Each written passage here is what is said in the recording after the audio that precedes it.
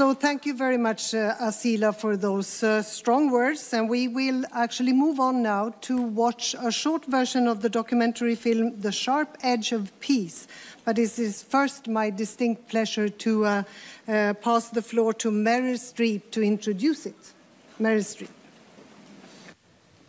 Good afternoon. Ah. Boop. Oh, well. Hello. Can you hear me? I hope you can hear me. Sorry. Okay. Thank you, Foreign Minister of Indonesia. Thank you. Um, Excellencies, esteemed leaders, and friends from all around the world. And I want to give heartfelt greetings, especially to our sisters in Afghanistan, uh, and all of those who have had to leave their country. We are all gathered here today to express our solidarity with you and to encourage the world community, especially those who continue to do business with Afghanistan, to intervene on your behalf. In 1971, I graduated from college here in New York and that year, women in Switzerland were granted the right to vote. Women in Afghanistan, of course, had enjoyed that right already for half a century. Women in Afghanistan received the vote in 1919, before, 30 years before the women in France. No, 20. My math is bad. Uh, well before women in the United States received the right to vote.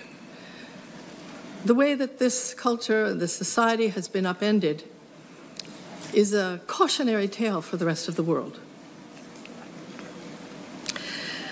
In the 70s, most of the civil servants were women, over half the teachers, doctors, there were women jurists, lawyers, in every profession.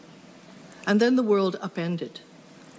And today, in Kabul, a female cat has more freedoms than a woman. A cat may go sit on her front stoop and feel the sun on her face. She may chase a squirrel into the park.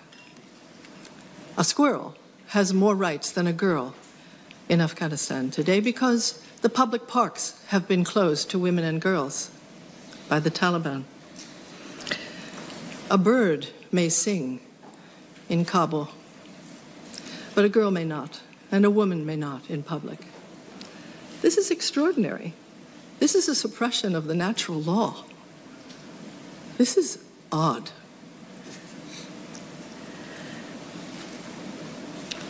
I feel that the Taliban, since they've issued over 100 edicts in Afghanistan, stripping women and girls of their education and employment, their freedom of, of expression and movement, they have effectively incarcerated half, half their population. And the international community, I, I believe, because the Taliban call themselves, I believe, Sunni, yes? The Sunni community has a special responsibility to, in some way, intervene on behalf of their women and girls.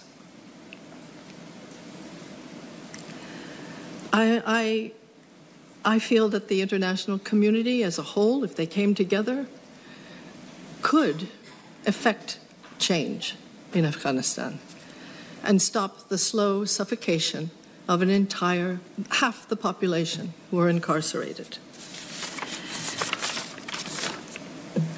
We're about to watch a very short version of a documentary film called The Sharp Edge of Peace. It's directed by Roya Sadat and it's produced by Leslie Thomas, and it gives us a glimpse of the incredible courage and the tireless commitment of four Afghan women leaders, the only women who sat face to face with the Taliban during peace talks in 2020. It's one of my the greatest honors of my life to have the privilege to be here with these extraordinary women. They encourage us and they remind us that a distorted fundamentalist fear of the future can upend a civilization from the, from the inside And now, I hope you enjoy A Sharp Edge of Peace. Thank you.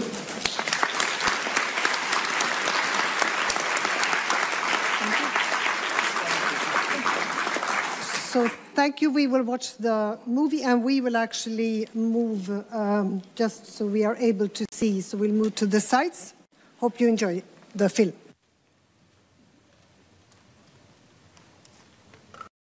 Hello, President Harris. Oh, Yeah.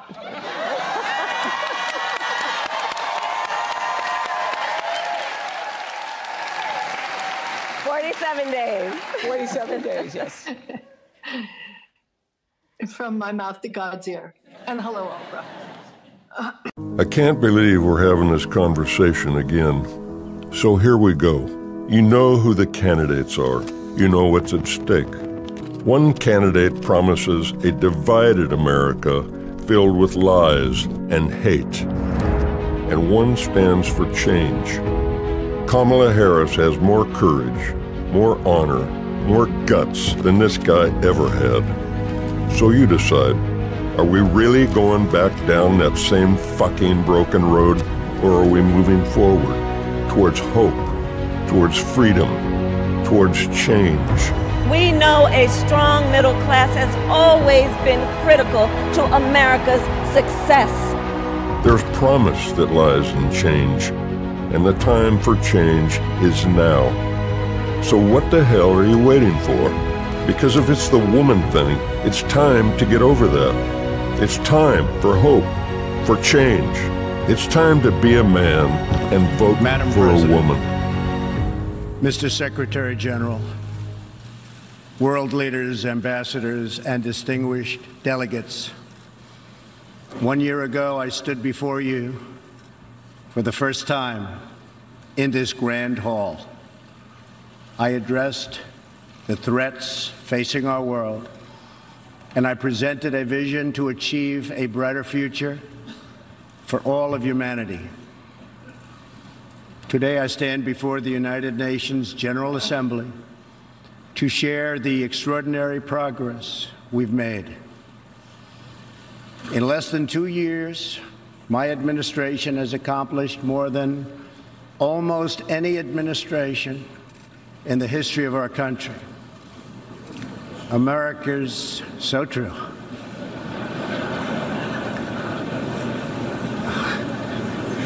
Didn't expect that reaction, but that's okay.